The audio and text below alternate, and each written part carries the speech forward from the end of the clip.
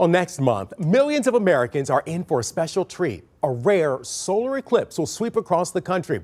Now, on April 8th, one month from today, from coast to coast, people will see the moon slowly move in front of the sun, blocking some of the light there. That's a partial eclipse. But for more than 31 million Americans in 15 states, they'll see the moon completely cover the sun for a total solar eclipse.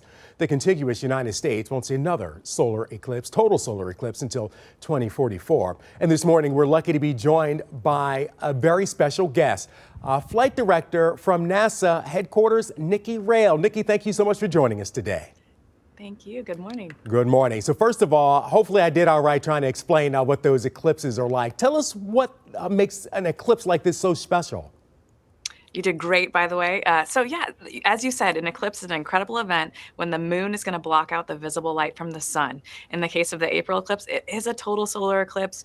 31 million people in the path of totality, all the way from Texas up to uh, Vermont. We're really excited to, in addition to having a much wider path of totality, having a longer time for totality. So up to four and a half minutes, depending on where you are for the um, eclipse. So it's an incredible uh, time for folks in the United States to visualize this uh, celestial phenomenon. Yeah, and actually just like one little area of Michigan gets clipped. So, yeah, yeah, we can see it. You don't have to drive too far, 45 minutes from us here in Detroit. Now, we were treated to another total solar eclipse back in 2017. What's different from this eclipse? How are they going to be uh, differentiated?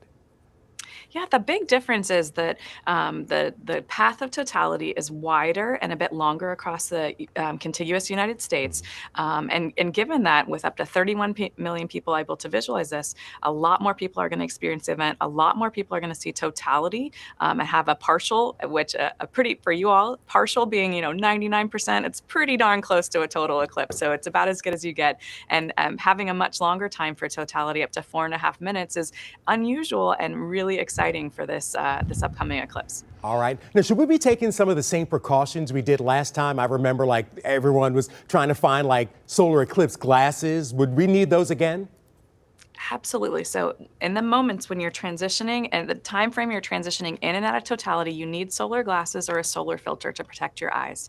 When you're in totality, when the visible light of the sun is really blocked out, you are able to look at the sun with your eyes. However, when you see bright light from the sun, you need to be using these solar filters, solar glasses, or an indirect viewing method like a pinhole filter, a pinhole projector, or something like a colander so that you're seeing um, the light reflected on the ground and not with your naked eyes to protect protect your vision. Absolutely. Got to be safe out there. Nikki Rail, uh, thank you so much for joining us today. Really do appreciate your time and insight. I know I'm super excited about the eclipse.